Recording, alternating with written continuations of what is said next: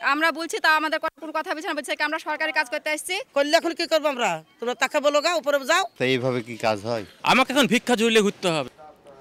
কোনো প্রাকৃতিক দুর্যোগ বা ভূমিকম্প নয় ঘরবাড়ি ও দোকানপাটগুলো ধসে পড়েছে নতুন ড্রেন নির্মাণের ফলে।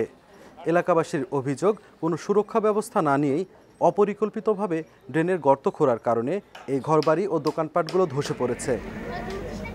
প্রায় আড়াই মাস আগে রাজশাহী মহানগরীর ফুলতলা থেকে মিজানের মোড় পর্যন্ত রাস্তা প্রশস্ত ও নতুন ড্রেন নির্মাণের কাজ শুরু হয়। দুটি ঠিকাদারি প্রতিষ্ঠান পৃথকভাবে এই কাজটি করছেন। তবে কাজের ধীরগতির কারণে চরম অসন্তোষ দেখা দিয়েছে এই অঞ্চলের মানুষের মাঝে। তার উপর খামখেয়ালিভাবে কাজ করায় ড্রেনের পাশের অন্তত দুই থেকে আড়াইশো বাড়িঘর ব্যাপক ক্ষতিগ্রস্ত হয়েছে। এর মধ্যে বেশ কয়েকটি বাড়ি ধসে পড়ায়, ঝুঁকির মধ্যে আছেন অনেকে। তবে এ নিয়ে কোনো মাথা ব্যথা নেই ঠিকাদারদের। এটা আমাদের বিষয় না। এটা কর্পোরেশন সমন্বয় করবে এলাকাবাসীর সাথে বা কাউন্সিলর আছে ওয়ার্ড কাউন্সিলর আছে তাদের সাথে সমন্বয় করে এক সিদ্ধান্ত নিবে।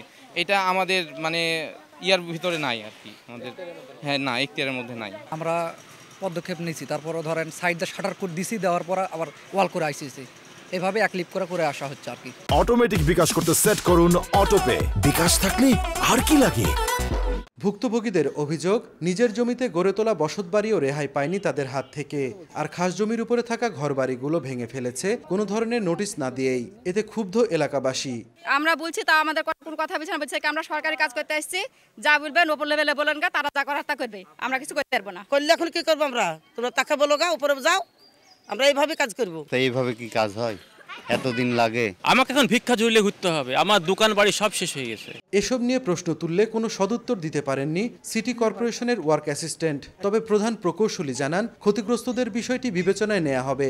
এখানকার মাটিটা হচ্ছে একদম হচ্ছে রসালো মাটি। এই জন্য মাটিটা ধরে রাখা যাচ্ছে না। আমাদের কাজ করতে যায় যেই ক্ষতি যদি কোনো এ জায়গা হয় সেখান থেকে আমরা তাদেরকে ক্ষতির যেটুকু হয়েছে সেটা দেখে আমরা ব্যবস্থা গ্রহণ করব।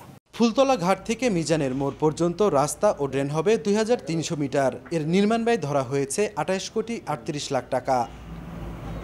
সাইফুর রহমান, রকি, সময় সংবাদ, রাজশাহী।